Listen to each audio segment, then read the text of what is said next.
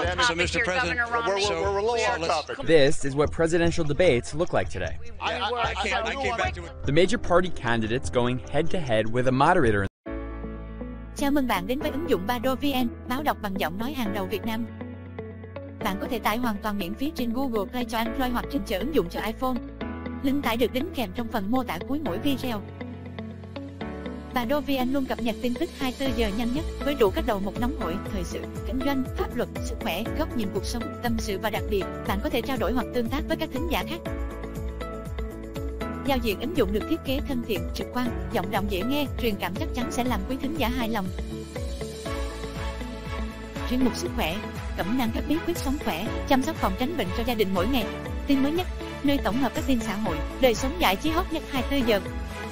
Chuyên mục tâm sự, chia sẻ tâm tư tình cảm của mọi người, đặc biệt là các vấn đề liên quan chuyện thầm kín, tình yêu, hôn nhân gia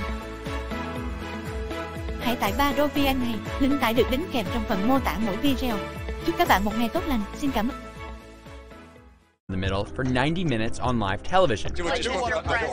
Events usually remembered more for moments and zingers Senator, you're no Jack Kennedy. rather than policy discussions. It wasn't always this way. The first presidential debate of the modern era was on the radio in 1948 during the Republican primary. Each candidate speaks for 20 minutes, then gives an 8.5 minute rebuttal. It would rapidly advance the cause of communism in the United States and all over the world. 1956 brings the first televised debate and the first presidential debate between opposing parties, though the candidates themselves don't appear. It's actually two surrogates Democrat Eleanor Roosevelt the failure of our policy. And Republican Senator Margaret Chase Smith, who debate on behalf of Adlai Stevenson and Dwight Eisenhower. Four years later, candidates themselves debate on television for the first time Kennedy versus Nixon, in a format that's now familiar. Candidates answering questions posed to them by a journalist rather than making lengthy speeches or questioning each other. In the first debate, the younger, more charismatic John F. Kennedy comes across strong on TV, while Richard Nixon, who's recovering from a recent hospitalization, appears pale and sweaty. You know, the Nixon Kennedy debates in 1960 were actually the beginning of the modern televised debate era.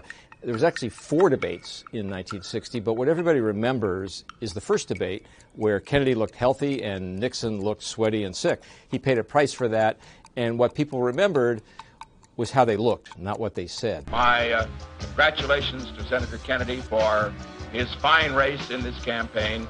For the next three elections, there are no debates. Then they return in 1976, which is the first year to include a vice presidential debate. I think uh, Senator Dole has richly earned his reputation as a hatchet man tonight. The next two, 1980 and 1984, are memorable for Ronald Reagan's debate skills and knack for one liners. There you go again. Are you better off than you were four years ago? I am not going to exploit for political purposes my opponent's youth and inexperience.